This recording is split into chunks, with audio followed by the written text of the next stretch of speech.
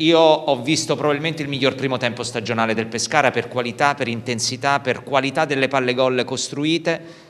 È un pari che le va stretto anche in virtù della gestione dei cartellini dell'arbitro oppure è contento?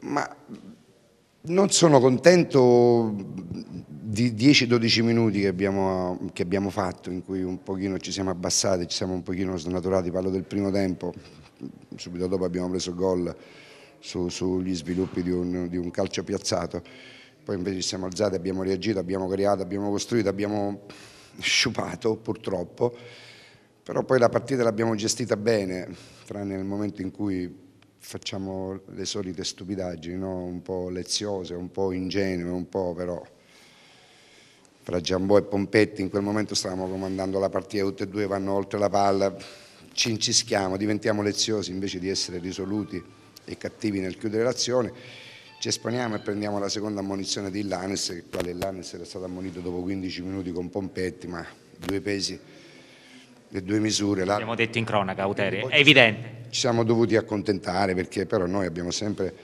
provato a vincere, è chiaro che poi quando devi, devi fare 18-20 minuti con un uomo in meno sei in gioco forza costretto a perdere 20 metri di campo. Le scelte dell'inizio, lei ha deciso di rinunciare a Ferrari dal primo minuto mettendo De Marchi nel ruolo di esterno.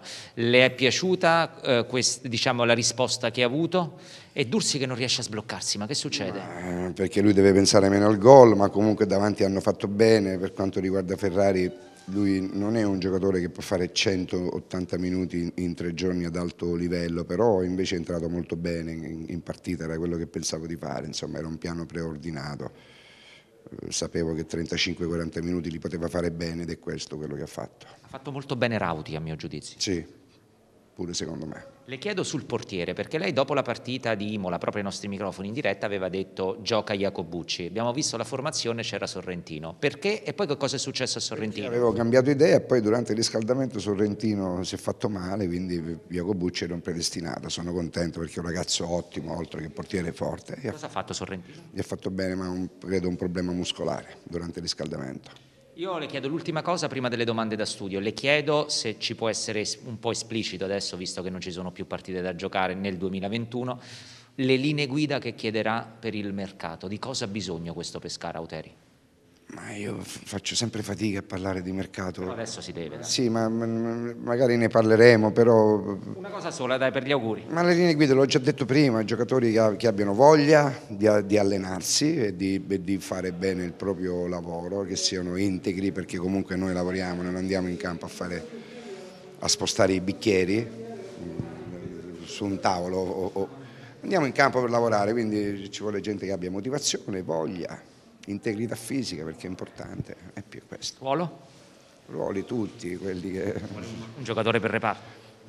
non so, diciamo di sì, diamo un giocatore per reparto. Un giocatore per... Beh, insomma Massimo, questa mi sembra che sia già una bella affermazione di Auteri, a cui do l'auricolare per una domanda da studio, o anche due se volete. Intanto saluto Max Mucciante. Hanno l'aereo? Ok, deve, deve andare veloce Auteri. Sì, allora faccio fare la domanda a Fabio, che sì. è un tecnico e mi sembra giusto. Mister, buonasera e innanzitutto auguri eh, di, di, un buon Natale. Eh, no, l'unica cosa che volevo chiedere, il, il tridente, parlavamo prima con Massimo, prima di entrare in diretta, il tridente che ha scelto all'inizio lo ha fatto perché magari voleva ripartire un po' su qualche spazio che l'Ancona ogni tanto concede quando poi va a buttare qualche palla e cerca di, di andare sulla seconda palla magari un po' si apre, si, si, si, si sbilancia allora con questo tridente un po' più di gamba sì. magari quella era la sua intenzione, immaginiamo.